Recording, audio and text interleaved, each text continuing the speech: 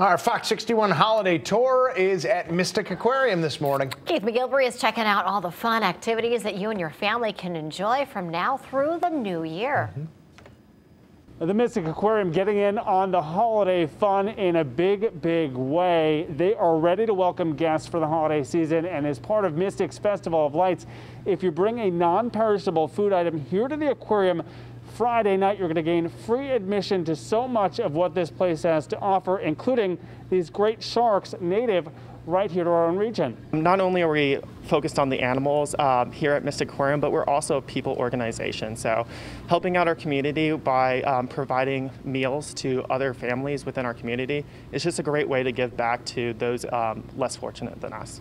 If you come a little bit later in the season, say the week between Christmas and New Year's, that's when Winterfest is underway with all kinds of activities for your family to enjoy then too.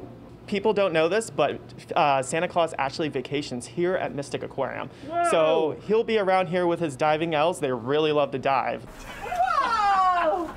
And we didn't forget fan favorites, the beluga whales here at the Mystic Aquarium are here to welcome you as well if you make a stop on your own holiday tour.